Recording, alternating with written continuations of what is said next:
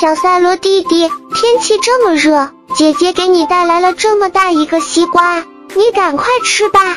可就在这时，旁边的小狗居然疯狂地咬向了小格丽乔。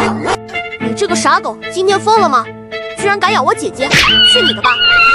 姐姐别管他，这个西瓜好甜呀，谢谢你了，姐姐。可就在这时，小赛罗居然被黑化了。上当了吧，小赛罗，差点被那只傻狗坏了我的好事。你就慢慢等着被彻底黑化吧。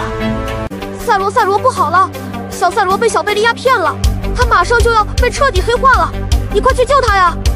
好你个贝利亚，你看看你教育出来的什么儿子，居然又出来干坏事！